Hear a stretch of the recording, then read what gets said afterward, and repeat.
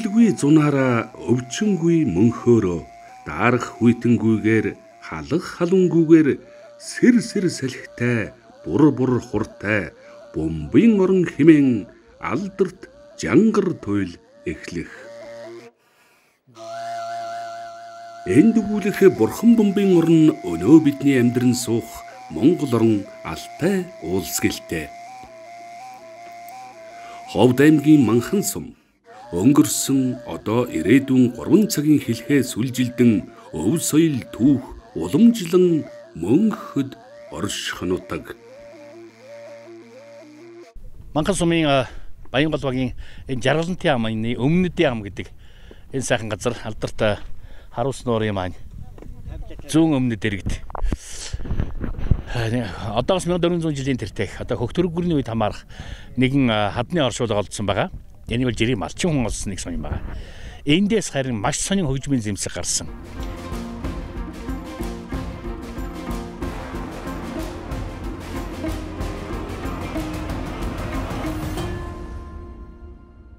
Тэ хөний хариулж яваад хөний доошо буугаа явуулсан. Аа. Тэгээ хөнийхээ араас ирсэн чи хөний ишээ утсан болов гээд энэ яг энэ уруудаа доошлоо ороод ирсэн. Яг энэ хамраар. Тийм хамраар. Тэгэхээр энэ дэр юм бэ чул байх шиг хажууд нэр ингээ ингээ гарсан энд нь хоёр дөрөө нэг имэйл авцаар гिचсэн.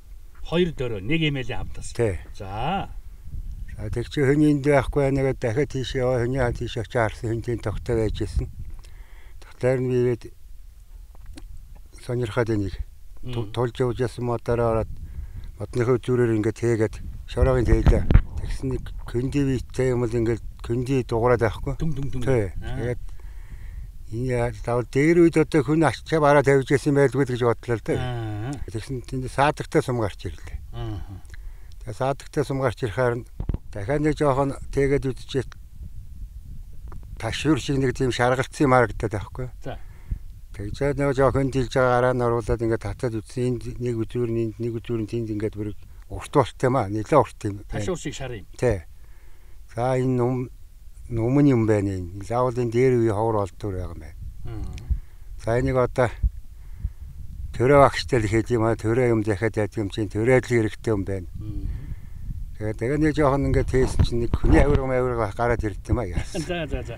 Тэгтэр бүр нөгөөхөөс сэжиглээд. Сэжиглээд. За энэ би болохгүй юмтай оролцлоо. Очгүй байна гэдэг. Буцаад нөгөө сум умаа тэрэлтний шороогаар ингээд далдлаад бас хүн хамтаа арчна гэдэг энэ рүү гीчгээд нөгөө ил гаргасан юмсуудаа далдалчгаа тэгээд гэртээ очиод нөгөө сэжиглсэн хүн чи яа тийм одоо ла хүний бушд оролцсон Шимээгөө гараа баахан савнд дэж угаагаал. Шөн зүйдэнд орд юм гэлээгээд шөн унтахтай хүртэл бодогдоод байгаа юм чинь гэж.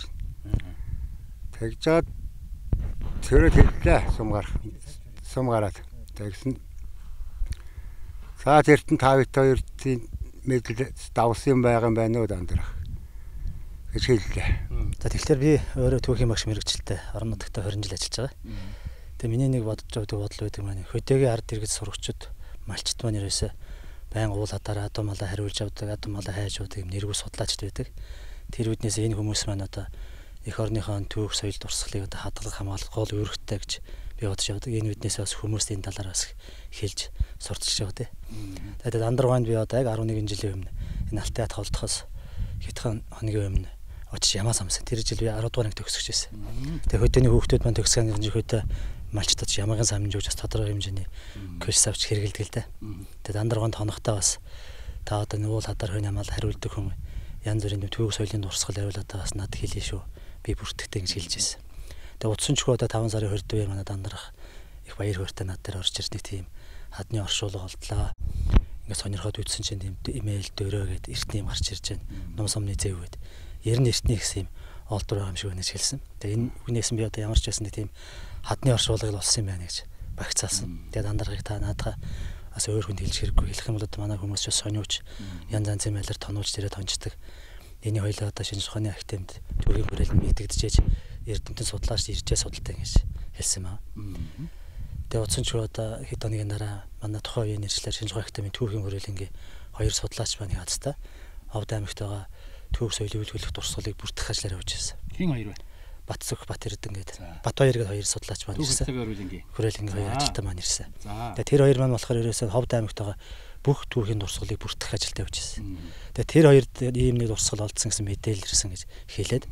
Тэгээ тэр хоёр маань одоо намайг сумын дэвээс аваад дандрах мамөр цусландаа гарцсан байсан. Юуж явсан. Хойноос нь очиж уулзаад тэгээ дандрахаас авч ирээд газарчлуулад энэ дээр авчир. Тэгэхгүй бол одоо битгээд болохгүй шүү дээ. Тэгээ бүтэн хоёр өдөр үргэлжсэн матлага хийгээд тэгэл ийм цагаа осгүй олдвор олдсон да.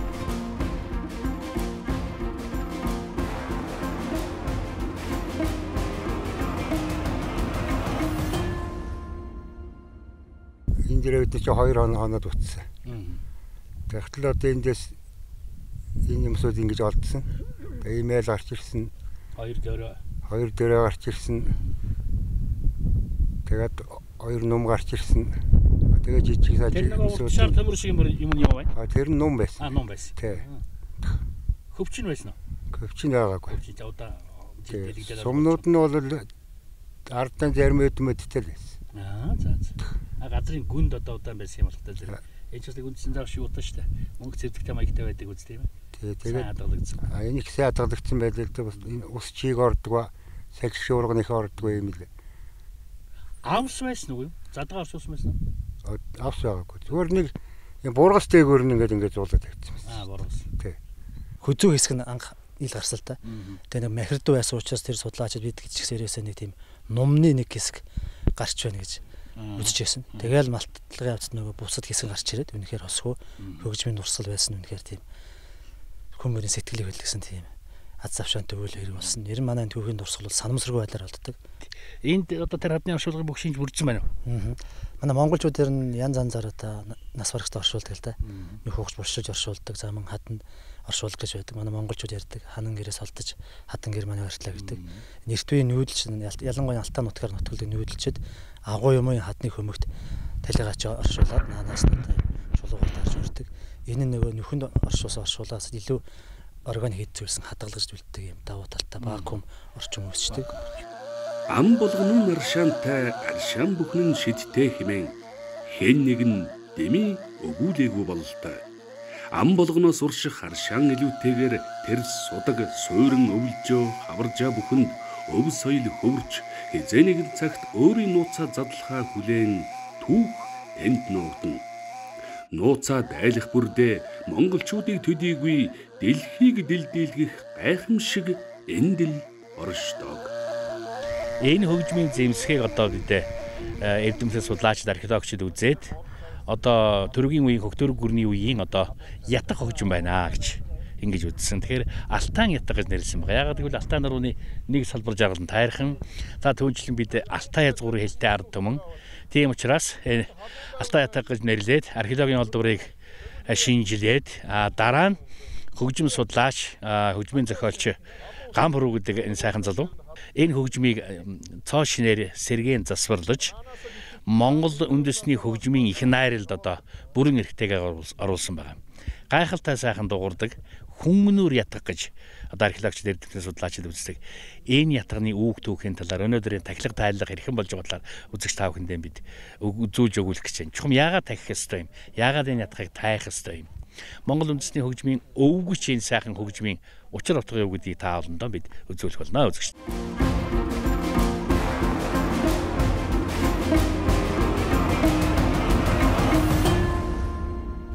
Хааштай тахилга эхлээд энд өвчүүнэгээ ууланд өгсөний дараа хааштай бидний залмын модонда гэр орнаасаа хүртэл ийм юм а тусдаа авчраад өлгөжээж бас болно. Аа.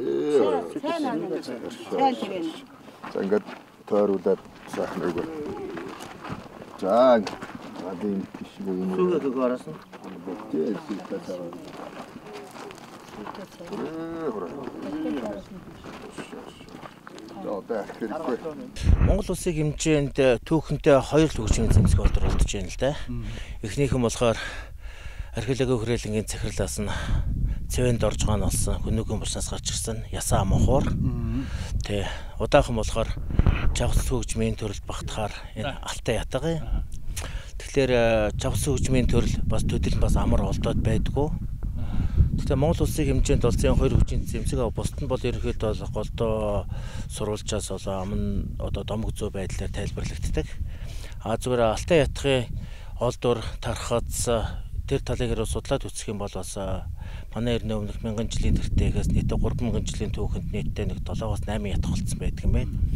А зүгээр бүл зэмсгийн хэмжээнд ялах тохиолдол гэх юм бол бүгдээрээ 5 жавцтай. Тэгээд яг хөө ерөнхийдөө эртний Месопотам болон Ассирийн тийш бол голдуу цаар бол юм бүтүү цартай, урт цартай, дээрээс нэмэлт гартаа тэгээд энийг өнцгт ятгах юм нэрлдэг.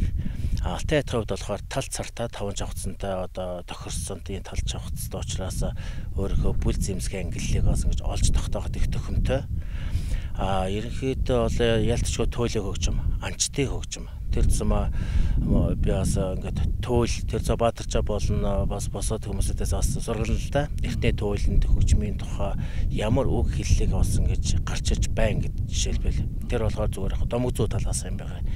А яг бит олдуур талаас болохоор ялтчгүй манай эртний өмнөх Шинжаан уурын нутгаас олдсон Ян хаан бусны ятга байна.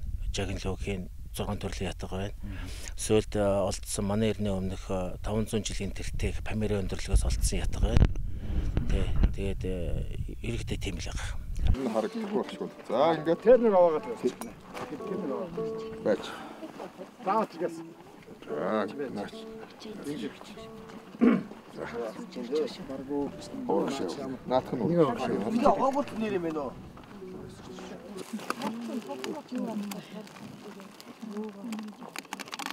За ингээд өршөө. Таван зүйлийн тарааны хишгүүийн дэлгэрэх болтугай.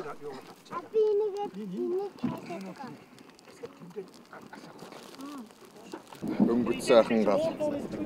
Дээрээс ирсэн гисэн улаан тэнгэрийн гал бадар хөгж хөгж хөгж. Хүрээ хүрээ хүрээ хүрээ хүрээ төмний гიშгаарнд түйдэг сайхан гал бадарч байна. Хүрээ хүрээ хүрээ хүрээ хүрээ хүрээ хүрээ. Өршөө өршөө өршөө. Алтаа нутгийн одоо энэ алтан хэвлэгээс нь алтаа ятг одоо 1400-аас 1700 жил одоо энэ сайхан хадны оршуулганд хадгалагч ирсэн энэ газар бид тахилгыг 18 оноос эхлэн хийгээд энэ нутагт сайхан уламжил болж одоо энэ нутгийн хүн зон энд ирж оролцож сайхан зан заншил эртний язгуур зан заншил маань хийгдэж байна. Энэ зан заншил бол Алтан 13 уулын 13 овооны тахилагч гэж нэрлэдэг. Энэ тахилгыг бол одоо бидний өвгдөөц олон үеийн туршид ингэж хийж явжээ. За бас тахилж туулч гэж байдаг. Тэгэхээр одоо миний дээд дөрөвдүгийн Баян Алтай өвгний тэр туул хайлах, томхон туул хайлах болгоныхоо өмнө хийдэг тахилгын тоонд ч бас энэ ордог юм аа. Тэгэхээр Алтан энэ ятхын энэ олдсон алтан хэвлийгээс олдсон энэ газрын ойролцоо бид энэ тахилгыг хийж байгаагаар онцлог нь юу вэ гэхээр энэ нутаг усанд олон зуун жил, олон мянган жил амьдарч явсан энэ хүн зооны язгуур тэр мөн чанарыг сэрэж За энэ амьд Монголын байгалыг би амьд байна гэж боддог. Хүнтэйгээ ард түмнтэйгээ ярьж чаддаг энэ сайхан амьд байгалыг байгальтайгаа ярилцаж тэнд сайхан аялгау гэх шиг тэр андуур гэх шиг гэж гайхамшигтай эртний аялгауг энэ уул усны эзэд савдаг шивдэг савсалгын эзэд бүр дээшлвэл тэр их заяачуудад хүргэж байгаа ийм тахилга юм аа. А таны нэг төвлөрдөг андуурын аялгаа шиг амар амгалангийн зэрэг вэ? Энэ их сайхан үг шүү. Тэгэхээр энэ энэ одоо Тэр чинь ямар туйлд гардаг вүлээ? тэр алтан ундраг гэж одоо нэг эртний хуучин тууланд энэ сайхан хуучин үгээр байдаг. Энэ аялгау гişг гэдэг юм бол дээрээс ирдэг нь тэртээ тэргүй тодорхой. Тэгээд энэ ертөнцийн хоёр том дуучин ард түмэн байна гэж байгаа. Нэг нь Монгол, нэг нь Итали гэж ярьдаг. Тэгтэл энэ Монголын энэ гайхамшигтай авьяаслаг ард түмэн бол уул устайгаа, тэнгэртайгаа, цагаан уултайгаа харьцаж байж аялгау гişгэ гаргаж ирсэн учраас энэ нь хизээч хуучирдгүй мөнгө залуу хизээч одоо өөдөшгүй тийм сайхан яруу гişгийг гаргадгаараа үнэхээр гайхамшигтай юм аа. Тэгэхээр тэр андуур гişг гэдэг бол мөнгө настай, мөнгө сэтгхүүтэй, мөнгө сайхан нутагтай тийм ард түмний аялгау гişг гэж ойлгож болох. Ерөнхийдөө их олдор бол айгүй амархан. Их олдор болохоор бүх хүмүүс бүгдийн чөлөөтэй нээж байгаа. Яг тэгэхээр тэнд хэрэглэн сүүлсэн шарах, сөрөв, нүхтэй зөндөө олон зүйлүүд бий. Тэгээ мэрэгжлийн хөгжимчин хүн яг яа тэгэхээр энэ хөгжийн зэмсгийг яавал тоглож болох вэ? Яавал илүү гоё дуурах вэ гэдэг талаас харж байгаа. Тэрийгээр дагавд хэрэглээний зүгээс энэ шарх энэ нөх энэ сорвн яг юунд зориулагдсан бэ гэдэг бас харахад илүүтэй амралтай соёл судлаачдыг даган зөвхөмжлөдөг бодвол а зүгээр алтан ядах дахиж одоо сэргээгдэж хөгжснөөрөө бас Монгол эртний нүүдэлчдийн нэг том бит олдураар баталгаажсан өвөг үүсгэж байгаа. Тэр нь 1400 жилийн өмнөх ийм хадны буснаа олдсон олдур тийм ээ. Түүх хүмүүзэд олд уран залаатай байдаг.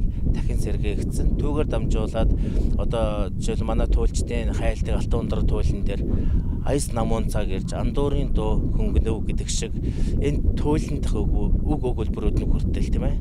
Тэгээд энэ бүхэн бүгдээрээ ингээд зогцлоод бид нэг нэг том соёл зогц соёл байсан бол нэг зүйл байхгүй болсон. Бид язгуурн байхгүй.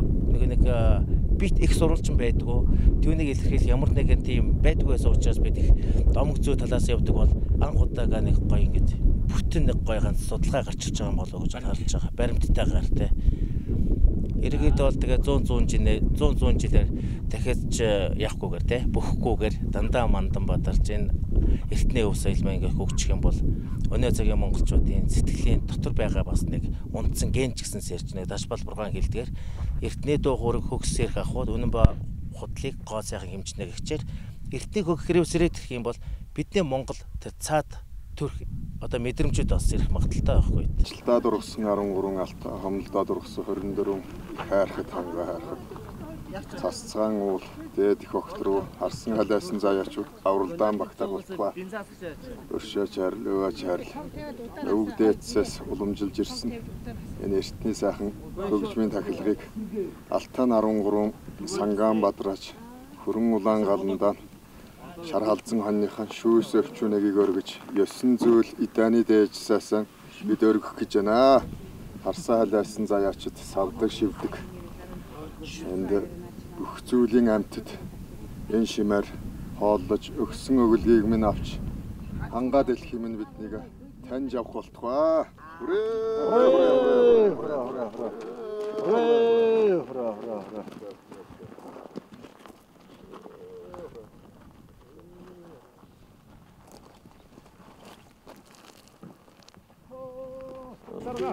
Хүрээ!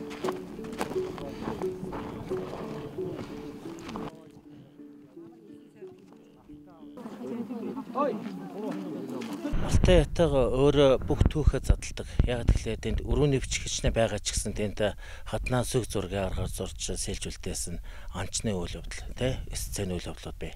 Тэрэн дотор жишээлбэл а нумсун барьсан анчны дүр зураг дээр аваад үзэхэд ном сумныхан сумныхан зэвнийхэн дэлбэн задарсан байх жишээ нэ тэ. Энэ өөрөөр хэлбэл хүрлийн одоо сүрээс эхлээд одоо юм хаднаа зүрхэнд маш ихээр олддог хаднаа зүргийн нэг төслөлтэй анчны.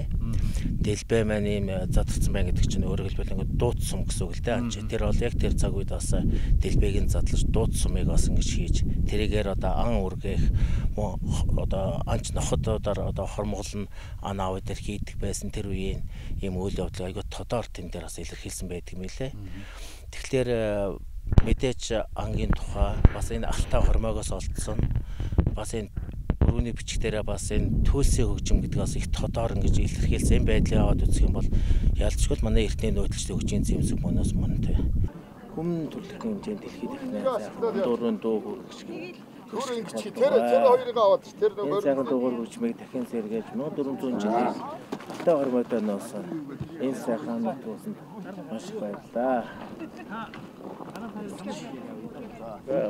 Харин руу. За гадуудан тэнгэрүүд гисэн улаан тэнгэрүүд шар халзуу хоньныхаа шүүс өвчнийг өргөж байна. Хүрээ хүрээ хүрээ хүрээ хүрээ. Асас бүрчүүч. Хүрээ хүрээ хүрээ хүрээ. Шантаа мадын шимэг, жишгтаа мадын гişгдэл ирэх болтгоо 500-ийн тараан гişг уян ирэх болтгоо. Алтааны эзэн алаа хонгор хурамжуулах болтгоо энд амьдарч байгаа хүн зууныг бүрд их ёроол ирэх болтугай. Хүрээ! Хүрээ! Хүрээ! Хүрээ! Хүрээ!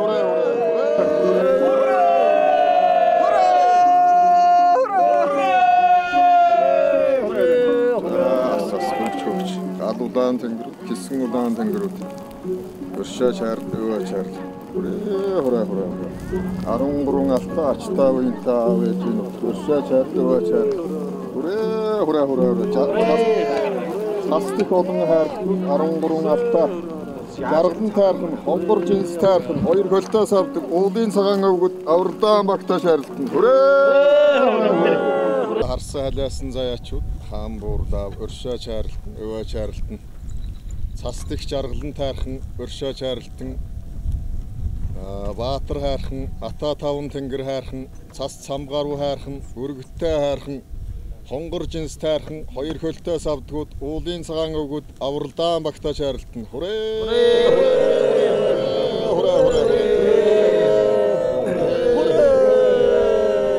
Хүрээ!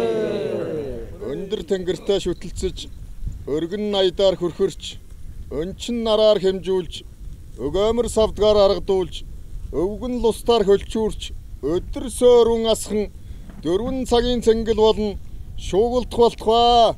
Тэгэд утгаас их ёроод мөх болтугай.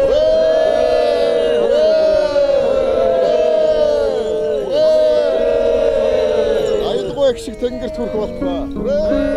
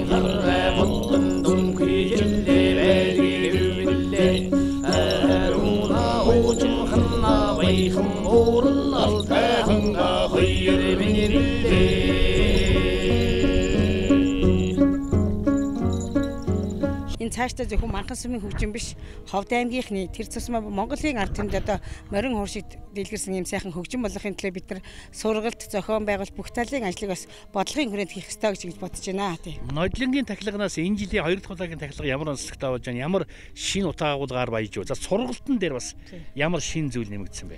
За бид нар нодлон анх хийхэд бол бас яг хөгжмийн овоо тахих гэдэг ойлголт бас бага байсан. Энэ утгаараа бас энэ яг уулаас алтан уулнаас олдсон одоо хөгжмийн зэмсэг гэдэг утгаараа энэ уул хангаа дэлхийгээ баясаж хүн зоноо одоо энэ сайхан хөгжмөдөө дурлаж энийг одоо хүндэтгэж хайрлах энэ сэтгэлийг төрүүлэх үүднээс одоо энэ хоёр дахь арга хэмжээг хийсэн анхны сургалтын дээр бол үндсэндээ бас зөвхөн хөгжмөнтэйгээ танилцах одоо асуудлаар хийжсэн бол энэ жил хүүхэд өхөн маань одоо хөгжмийн тэр ноото хараад одоо нот уншиж явах шиг хараа шүү тоглох. Энэ таны гарын авлага материалтай болж маш хурдан хугацаанд олон сайхан одоо өөрийн гэсэн одоо уран бүтээлүүтэй болж авсан.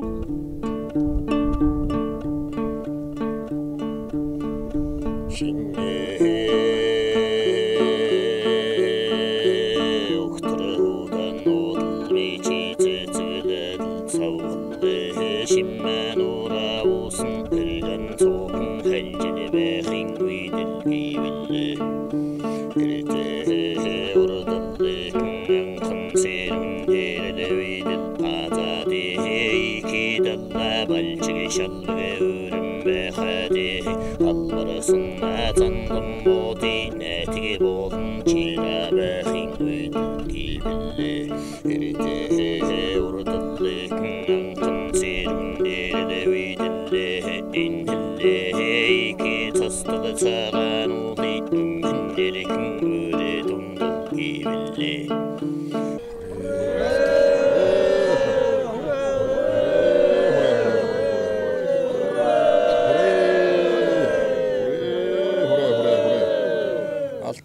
Хангаан эцдүүд 10 идэн ариун их буяан дэлгэж өхөлгүй мөнгө угаарлгүй аянаар явуулж дайраад ирдэг насын үрийн үргэлжид 25 настай байж бур бур будантаа сэр сэр салхитай бум бүргэлдүүгийн намун сайхан алтаа нутагт та биднийг 50 сайхан жаргуулж өсөн үеэр жаргуулж ертөнцийн наранд ээлгэж байх болтугай.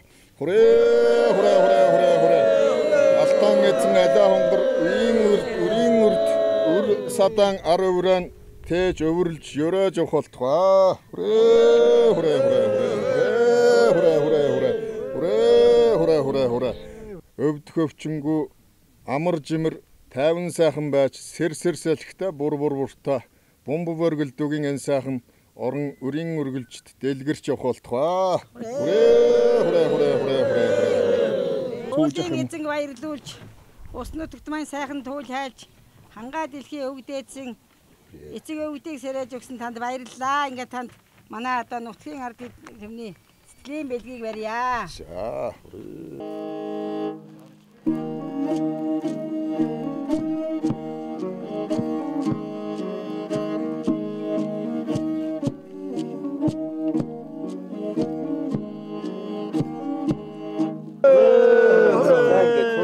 Ингээд болтгоо. Ганцаа тийш. Ганцаар тастай. За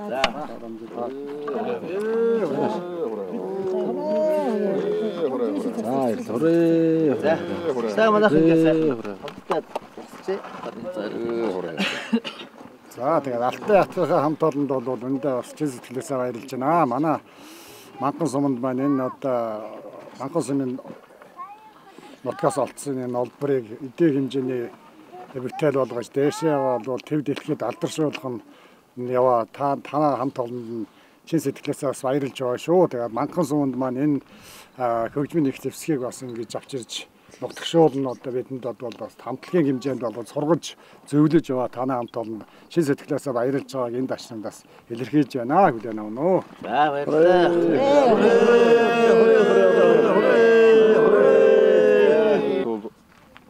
Яг энэ сайхан хээрийн гал гэж нэрлэдэг. Хээрийн галаа бид окторгон галаасаа одоо оч таслан өглөө нарнаас одоо үдшийн тэр сайхан наран жаргах хүртэл энэ сайхан налгар алтаан өдөрт бид энэ эрс хар сураан хүндэтгэж цунцэг өдрийн дунд одоо гал нарнаар сурынхаа ёслолыг бид хийдэм аа. Тэгээд энэ ёслолаа гүйцэтгэе.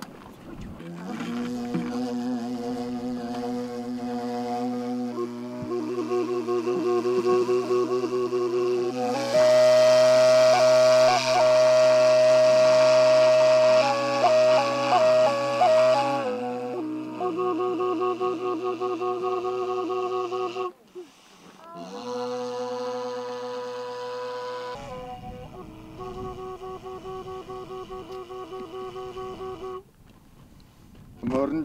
Байвал ирж энэ сурыг хувааж өгье. Аа за хэмжээний авахд болно. за наа. Ингээд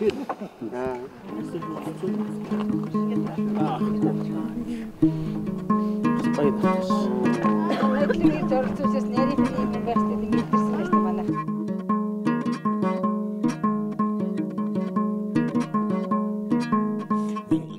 Алтай 13 ориглоо магтан дуулсан аргадан гуйсан нэгэн их үйл ар хур тэгшэрсэн хаврын сүүл сард жаргалан тайрхны бэлд болсныг эрхэм үзэгч та бүхэндээ хүргэсэн нь энэ билээ. Та бүхний нутаг орон герт байгаа эртний элдв хэрэглэл хад чулуун дээр сийлсэн зураас сийлбэр бүхэнд өв соёл оршдгийг эрхэм үзэгч та тунгаан бизээ.